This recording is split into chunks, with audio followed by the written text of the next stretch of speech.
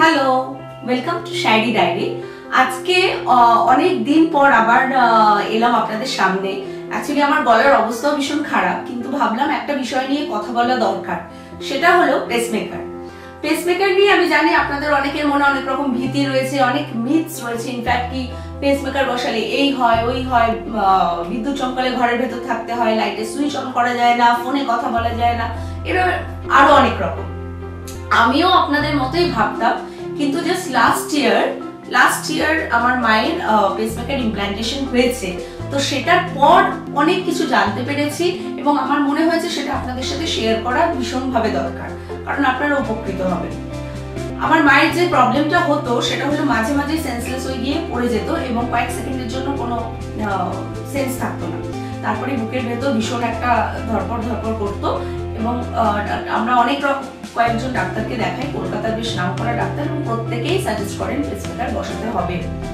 মাকে first suggest করেছিল যে ডাক্তার, সেটা হলো আজ থেকে পাঁচ বছর আগে। আমরা তখন ভাবি বয়সটা আরও কম এবং এখনই কি বসানোটা ঠিক হবে? এরকম অনেক দোনমনো করতে করতে লাস্টের দিকে মার এই যেটা হয়েছিল, সেটা হলো ঘরের মধ্যে হাঁটাচলা করলেও হাঁপিয়ে যাচ্ছিল। আর ডাক্তার আরেকটা কথা বলেছিল, সেটা হলো, বাই চান্স যদি এরকম সেন্সলেস হয়ে কখনো পড়ে যায়, তাহলে কিন্তু সেটা থেকে ব্রেনটাও ড্যামেজ হতে পারে। তো সেটা আমাদের ভীষণ ভয় ধরিয়েছিল। তো আমরা যে ডাক্তারের আন্ডারে করিয়েছি উনি ভীষণই ভালো। এখনও মা তার ট্রিটমেন্টেই রয়েছে। তার ডিটেলসটা আমি ডেসক্রিপশন বক্সে দিয়ে দেবো সবকিছু। তো মার যেটা হয়েছিল, সেটা হলো যেদিন বসানো হয়, তার আগের দিন তাকে অ্যাডমিট করা হয়েছিল। সকালবেলা ইমপ্ল্যান্টেশনটা হয়। মনে রাখবেন পেসমেকার ইমপ্ল্যান্টেশনে কোনো দিনও ফুল অ্যানাস্থেশিয়া করে না। সবসময় লোকাল অ্যানাস্থেশিয়া করে। ফুল অ্যানাস্থেশিয়া করলে পেশেন্ট মারা যায়। তো সেই জন্য লোকাল অ্যানাস্থেশিয়া করা হয়। ডান দিকের এই জায়গাটাতে ইমপ্ল্যান্টেশন হয় এবং হওয়াকালীন কিছুটা ব্যথা আপনার লাগবে। কারণ ডাক্তার ওটাকে খুব ভালোভাবে সেট করে ব্যাপারটাকে। যন্ত্রটাকে এখানে বসায় তো। তো সেটার জন্য একটু ব্যথা আপনার লাগবে। সেটুকু সহ্য করতে হবে। সেটা বিশাল কিছু ব্যথা না, কিন্তু হ্যাঁ ব্যথা লাগে। অনেকে বলে লাগে না, আমি ঠিক জানি না, কিন্তু মায়ের কিন্তু লেগেছিল। বসানোর ফাইভ টু সিক্স ডেজ এর মধ্যে ওরা সবকিছু চেক করে, মাকে রিলিজ করে দেয়, তারপরে আমরা এক সপ্তাহের মাথায় নিয়ে যাই ডাক্তারের কাছে, ডাক্তার সমস্ত কিছু চেক করে। শুধু কয়েকটা রেস্ট্রিকশন ছিল, সেটা হলো ডান দিকে ফোন নিয়ে কথা বলবেন না, বললে বা দিকে নিয়ে বলবেন।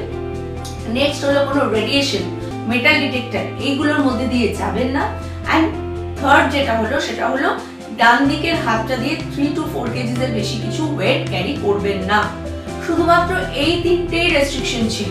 ফোন ডান দিকে নিয়ে কথা না বলা মেটাল ডিটেক্টরের বা কোনো রেডিয়েশনের মধ্যে দিয়ে না যাওয়া এবং ডান হাতে তিন থেকে চার কেজির বেশি ওয়েট ক্যারি না করা, আর কোনো রেস্ট্রিকশন নেই। হ্যাঁ এবার সুইচ অন অফ করতে গেলে কারেন্ট যাতে না লাগে, সেটা তো একটা বেসিক জিনিস, সেটা তো আমাদের সবাইকেই দেখতে হয়।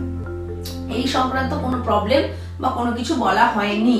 আজকে আমি আপনাদের সাথে মনে হলেও শেয়ার করি এই বিষয়টা। কারণ আপনাদের জানাটা দরকার যে পেসমেকার নিয়ে যে ভুল ভ্রান্তিগুলো আমাদের মনে রয়েছে, সেগুলো আদৌ ঠিক নয়। Thank you